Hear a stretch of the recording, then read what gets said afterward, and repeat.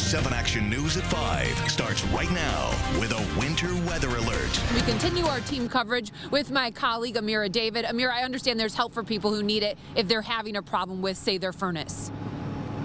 Yeah, Kim, there definitely is from weatherization services to loan offers to even special rebates. Several organizations, both here locally and at the state level, are jumping into action. For Steve Christensen and his team at Wayne Metro Community Action Agency, this time of year is go time. Steve helps lead the weatherization department at this Wayne County nonprofit, helping hundreds of families stay warm every year. We're definitely keeping busy these months. And they use this diagnostic equipment to respond to that demand. Uh, the IR camera to help identify air leaks and insulation voids.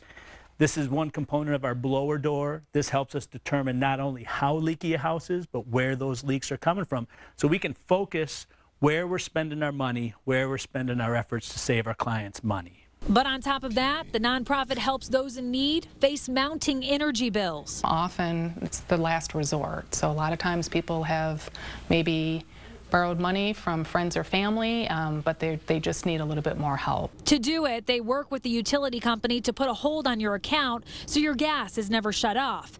But Wayne Metro is just one of many entities geared up and willing to help. CLEARCorps in Detroit offers a test and tune program to make sure your furnace is functioning efficiently. Michigan Saves has a statewide loan program with lower fixed interest rates on loans of up to $30,000 for energy related home improvements. Meanwhile, DTE offers free energy consultations, furnace and boiler rebates of up to $900, plus an affordable payment plan for low income families. But if you're looking for a quick fix as the cold sets in, Wayne Metro says don't underestimate the action you can take yourself. You can push this to any cracks around your windows. Spend just a few dollars on rope caulk and a window kit to help with any leaking heat. So you're going to have yourself some really tight, comfortable windows.